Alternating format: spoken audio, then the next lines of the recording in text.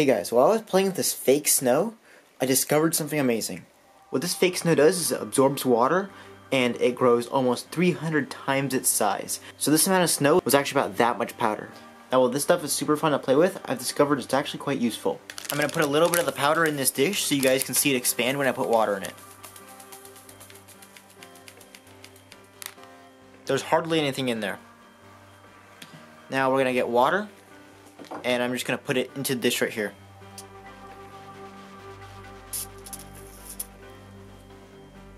And it completely sucks up the water. And this thing can take even more.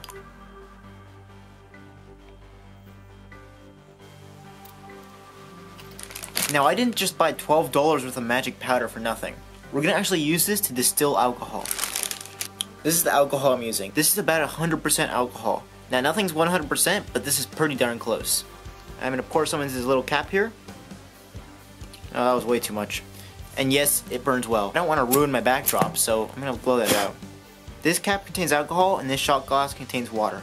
So I'm gonna take about one milliliter of alcohol and then I'm gonna take up to three milliliters of water and that'll make our alcohol super dilute. Now we're just gonna put it into this little cup right here. We've got the alcohol water solution in here, and now we're gonna add the little pellets. You really don't need to add that many.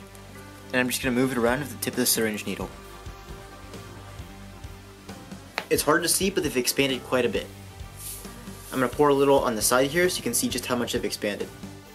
On the left are the dry ones, and on the right are the ones that were soaked in the alcohol water mix, and they're a lot bigger. Let's try igniting it.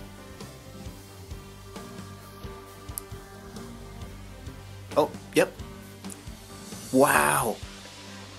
That works great. Let's try this for a larger volume. Here is 20 milliliters of our alcohol water solution. Let's pour in the powder.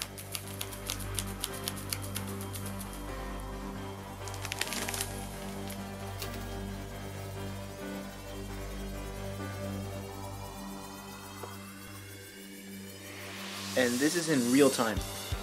It's about 30 seconds later and our alcohol has definitely got up a percentage. Oh, it's working. Let's shut off the lights.